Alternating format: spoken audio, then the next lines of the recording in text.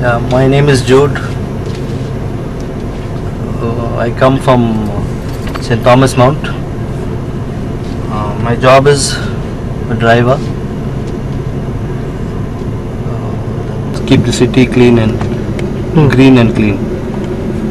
Uh, first thing we should plant planting uh, some uh, plants and plant it on the side of the road and each street we need to keep a dustbin and see that they proper maintain it and uh,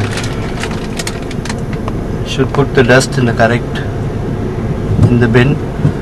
Then after we should uh, see that they're being cleaned properly. And should not use uh, plastic plastic plastic papers plastic carry bags see that they are cleaned weekly. Not to be put on the roadsides. Do not spit other near the plants.